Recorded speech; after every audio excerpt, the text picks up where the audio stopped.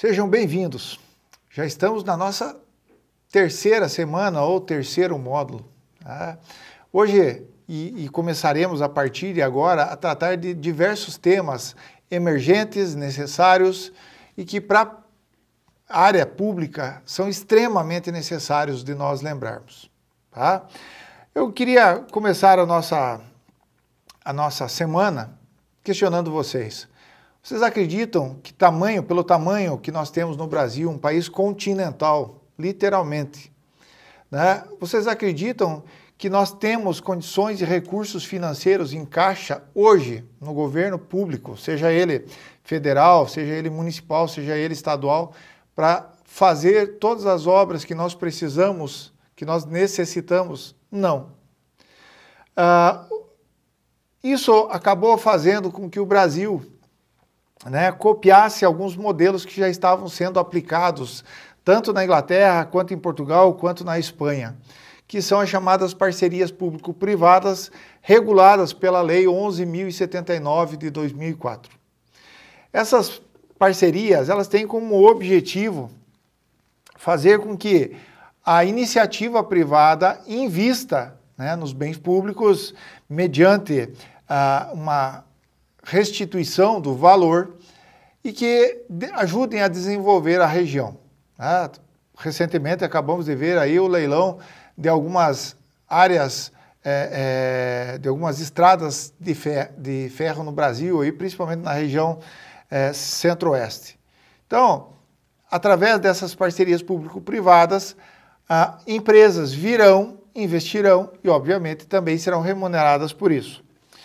Uh, no primeiro artigo, diz que ela vai instituir leis ou vai instituir é, normas né, para que você possa fazer a licitação e a contratação de parcerias público-privadas. Eu quero aqui chamar a atenção para alguns fatos. Primeiro, posso fazer uma parceria de qualquer coisa? Não. Né?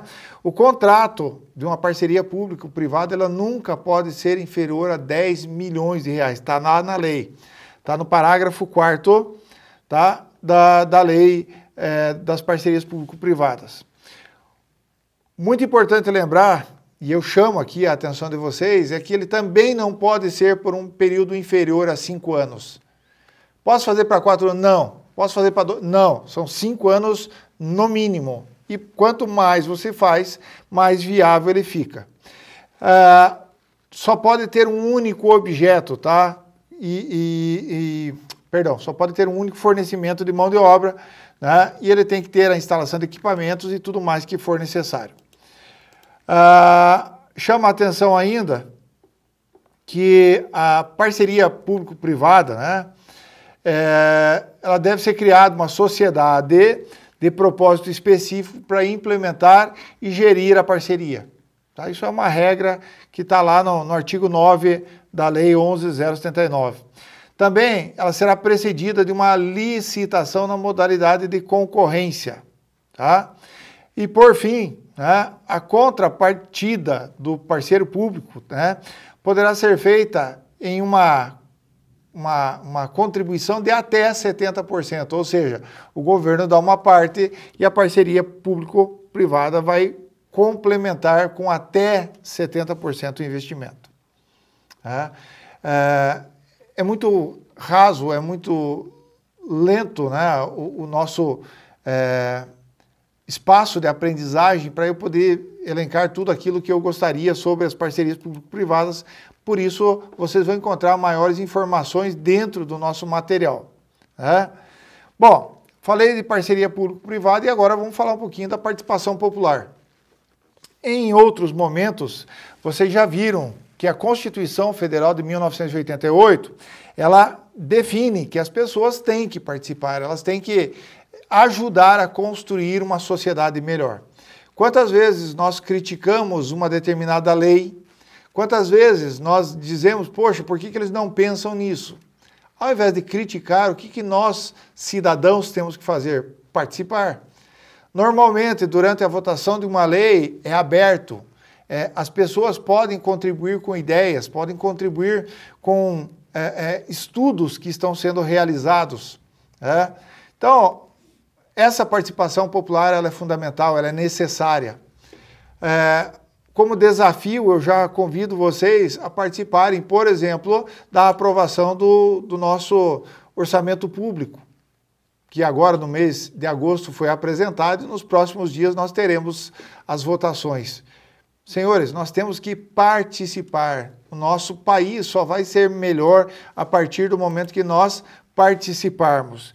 E desde o artigo 194, né, desde a promulgação da Constituição, o artigo 194 ele diz o seguinte: a Seguridade Social compreende um conjunto integrado de ações e iniciativas do poder público e da sociedade destinadas a assegurar os direitos relativos à saúde, previdência e assistência social. Vejam, nós só conseguiremos pegar e só conseguiremos ter uma sociedade mais justa a partir do momento que nós, cidadãos, né, organizados em, em sociedades né, ou em ONGs, comecemos a participar. Reclamar não vai resolver se nós não participarmos e não ajudarmos a construir, tá? É, durante muito tempo, as pessoas começaram, e principalmente o governo tem convocado a população para ajudar a construir alguns documentos que são fundamentais. Né? Por exemplo, o Estatuto da Criança e do Adolescente, ele foi construído a partir de uma diretriz, é claro, né, da, do, do governo federal, mas ele também teve a participação das pessoas. Então, tudo que está lá foi proposto por pessoas, foi aprovado por pessoas e quando antes de eu criticar, a minha pergunta é: você ajudou a construir o ECA, né, o Estatuto da Criança e do Adolescente? Então, são sempre coisas que nós devemos pensar. Um outro grande exemplo aí, né, é, é a LDB, né, a, a, a Lei das Diretrizes e Bases da Educação Nacional, também é um grande documento aí que foi criado a partir da participação popular. Vejam, são documentos cruciais aí, tivemos o Estatuto do Desarmamento e tantos outros que foram votados e que foram pedidos a participação do povo. Certo? Ok, mas e quem me garante que eu vou pegar e que eu vou ter acesso a tudo que está sendo feito? Bom, primeiro, a Constituição dá a você essa liberdade, né, te chama e te conclama a participar, mas é, no, no inciso 5 do artigo da Constituição Federal, ele também diz que todos os brasileiros têm acesso às informações. Né? É, e aí eles definiram alguns incisos que as pessoas têm o direito a receber informações públicas. Qualquer tipo de informação? Não. Alguns tipos que são específicos e que não devem comprometer né, o desenvolvimento aí, é, das pessoas e mesmo nada que venha denegrir a imagem das pessoas. Uh, lembro ainda que em 2011 nós aprovamos a lei da, do acesso à informação. Né? É, essa lei não foi aprovada por todos uh, os políticos brasileiros ou por todos os deputados, mas ela vem trazer aí um grande bem, um grande ganho a nós, que é justamente dar publicidade às informações é, dos atos do governo, né, federal, estadual, municipal. Ele fala também das ações do executivo, do legislativo e do próprio judiciário. E, por fim, dos órgãos que acabaram pegando e recebendo dinheiro público. Então, eles também são obrigados aí a dar acesso às informações. É, só queria chamar a atenção, né, eu fiz uma pergunta há pouco, todos os dados podem ser é, liberados? Não. Os que correm em segredo de justiça, os chamados dados sigilosos, são eles que vão ficar guardados somente uma, uma, uma é, um pedido especial e uma liberação especial é que se pode fazer. Tá? Pode-se ter acesso. Lembra ainda que o governo federal, né, o executivo, ele pode determinar por lei é, o acesso ou sigilo a determinadas informações e aí é, também tem o direito de retirar.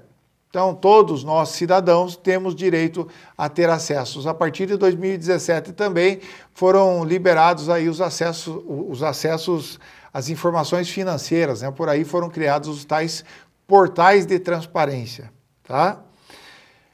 E para finalizar, eu queria fazer uma reflexão a respeito das trocas de governo e do abandono de algumas políticas públicas. Uh, nós não podemos esquecer que, pelo conhecimento popular, pela maneira como as pessoas na sociedade se comportam, eles sempre trocam de governos achando que o, a pessoa que está assumindo ele tem que abandonar tudo que foi bom no passado. Muitas vezes, né, algumas, é, algumas, alguns governantes eles pegam um, um, determinado projeto que já existe e ao invés de melhorar, é, não só melhorar, o que, que eles fazem? Eles também vão lá, pegam aquele projeto, trocam de nome para dizer que foram eles que fizeram, para esquecer quem trabalhou no passado. É, isso é um absurdo. Né? Nós temos aí no Brasil, nós tínhamos até pouco tempo atrás mais de 14 mil obras abandonadas. E quando eu falo para vocês de obras, eu também falo de programas sociais que acabaram sendo abandonados, né? é, que não poderiam ser esquecidos, que não poderiam ser deixados de lado. Eu procurei, pesquisei bastante sobre essa questão, sobre esse tema, a influência do governo, né, dos governos aí, é, quando existe a troca de governantes, Uh, não existe muita coisa que aborde esse tema, inclusive são poucos os pesquisadores que falam sobre indicadores, né? indicadores de gestão. Isso é uma forma de nós acompanharmos. Uh, inclusive, tem um, um, dos, nossos, dos pesquisadores que eu falei, que é o Arruda, que ele, oh, perdão, Silva e Azevedo, numa publicação de 2017, eh, eles comentam que os governos deveriam ser medidos pelo que ele chama de efetividade, tá? Índice de efetividade da gestão, ou seja, quantas propostas o governante durante a eleição se propôs a fazer e quantas ele efetivamente fez. Então, talvez esse seja o melhor indicador para nós podermos dizer esse governo foi bom, esse governo foi ruim. É, existe uma série de outros indicadores que também podem ser utilizados. Chama atenção que esse é um importante tema de pesquisa, tá? que deve ser é, abordado aí face, primeiro, a poucos trabalhos que existem e, por outro lado, face à grande repercussão que isso pode ter. Ah, o próprio Silva e Azevedo, ele comenta que muitas eles comentam, né, que muitas vezes um determinado uma determinada política ou uma determinada gestão ela abandona as ações da outra, principalmente pela falta de recursos para dar continuidade. Lembrem, o governante no seu primeiro ano de, o executivo no seu primeiro ano de governo ele trabalha com o com o orçamento de é, com o orçamento que foi feito pelo governo anterior. Então, isso eu tenho que pegar e tenho que pensar e analisar. Né? É, a visão que algumas pessoas têm, que se um determinado programa foi bom e eu der continuidade, as pessoas vão lembrar do anterior. Né? Isso acontece e acontece muito. Né? É, é, só nós vermos aí no Brasil a questão do, do, do, do salário família, do Vale Gás, do ProUni, do FIES e de tantas outras é, políticas públicas que acabaram mudando de nome ou que acabaram sendo abandonadas para não relembrar aí as gestões anteriores. Uh, outro fato que merece destaque, eu acho que aqui nós, como administradores públicos, entramos, é que muitas vezes um governante, quando ele, ele entra, o que, que ele faz? Ele precisa colocar pessoas que ele confia. Né? E, e, esse governante ele tende a afastar a gestão que havia, as pessoas que estavam na gestão anterior. E isso faz com que a gente acabe perdendo um pouco do bom daí daquilo que estava acontecendo. Ah, coisas que acontecem apenas em livros de história. Né? De repente tem uma pessoa formada, uma pessoa que está plenamente se desenvolvendo, por não coadunar as mesmas ideias daquele político que entrou, ele coloca uma outra pessoa que nem sempre tem uma formação né, necessária para continuar e dar continuidade àqueles programas. Então, senhores, eu preciso né, entender que não existe como medir aí a, atualmente, não existe um único indicador que possa medir, dizer se uma determinada gestão foi boa ou ruim. Existem vários índices né, que podem ser comparados, mas alguns são criados num momento e outros são criados em outro. É, então, o índice da efetividade talvez seja um bom índice e, salvo engano, praticamente não tem sido utilizado. Fica a dica. Obrigado e desejo sucesso a todos.